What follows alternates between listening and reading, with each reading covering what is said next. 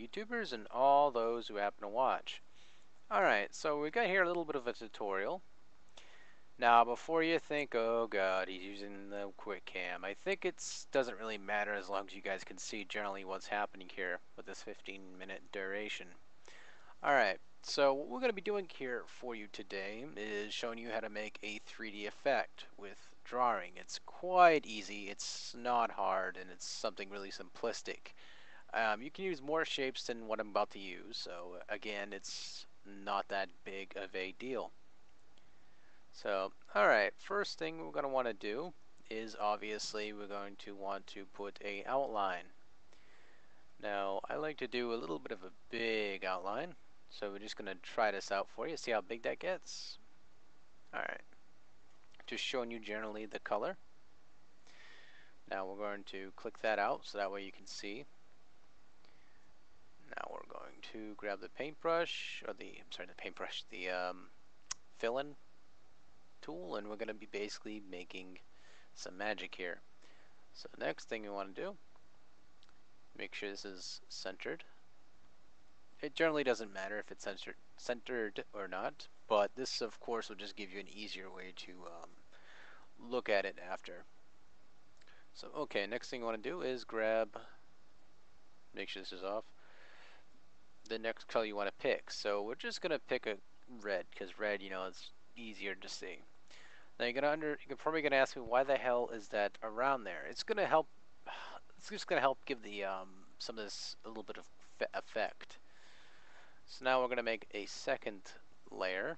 Now I'm just busting your chops. I'm not to make a second layer. But, okay, first thing we're to want to do, actually, yeah, we have to.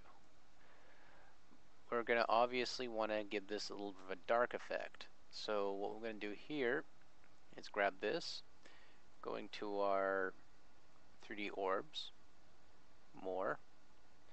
Now you're going to notice here these are defaulted a little bit. So first thing we're going to want to do is obviously make this one the secondary uh, a little bit transparent and we're going to make this one you know obviously little bit of white now we're going to test that out if it doesn't work obviously we're going to alter it see it's going to do a little effect like that you can see already how it looks right we're going to want to do this effect. However, we're going to be doing it on this, the actual color right there.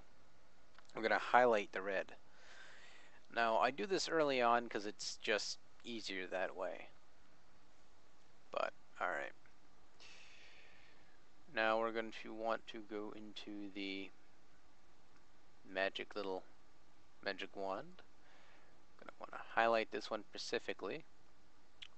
I'm going to go into this and now we're just gonna go like that now you can already notice how the color is changed how it's nice it looks different It already looks almost 3D-ish so Gotta get rid of that. Now, again, it's gonna look a little bit choppy. I mean, if you're using Paint Shop or whatever, that's fine. But I'm using Paint.net, the quote-unquote ghetto um, fabulous paint program, which it does a really good job. It's a lot of people just give it flack because of the fact that they just torrented their copies of whatever.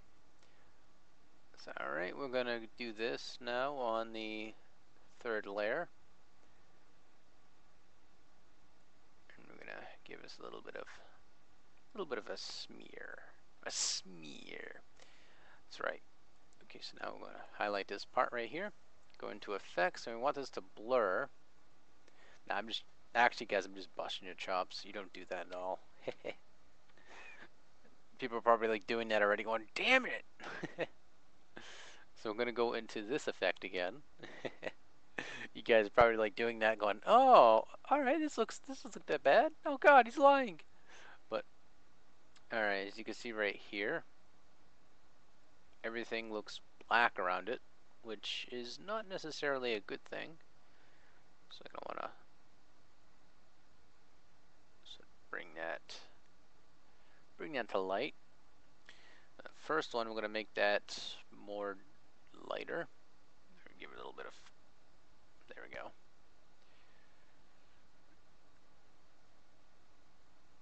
it's too dark. So if you want to adjust it, obviously you go into this and make it a little bit apparent. So after you do that, obviously want to leave it like that for now. And then one the third layer here.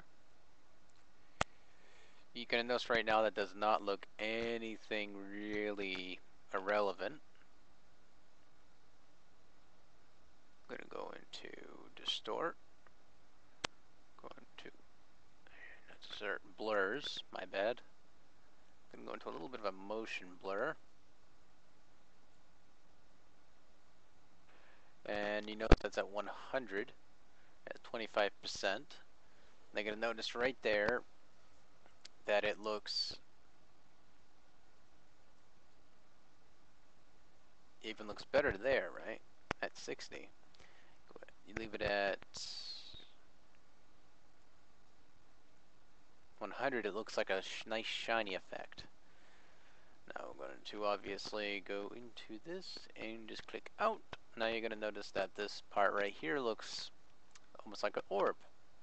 Now you're probably asking what's the point of doing this part now? Well, I'm going to show you right now exactly what this white bit is for. Now I'm going to effects. Was it effects? Yep. I'm going to go into glow, get that little bit of a glowy effect.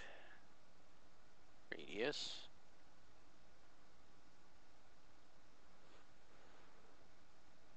A nice glowy effect. Now it's going to look still a little pixelated as you can probably tell from a uh, distance standpoint. So again, we're going to want to make sure that was still on there. I was just unhighlighting that next. I wanted to see check the the consistency and how distorted it or how unprofessional it actually looks. Now sharpen is a pretty dangerous tool, meaning it can either make things look improved or make things look like crap. So you can see this ball right here looks alright so far. I mean, granted, it should not. I mean, if you really wanted to be specific, you don't even have to really use this, keep this here. This is just for fun. As you can see right there, though, it does give it some character, or gives it a marker, so to speak. I mean, you could probably plant this on like some project, like uh, let's see, like I don't know, like a sword or a robot or you know something creative. You can probably think of it out of your minds, but that's generally how it would look and I should have but yeah that generally is how you make a 3D-ish orb. So if you guys got any questions please let me know in the comments down below and uh, take it easy folks. Take care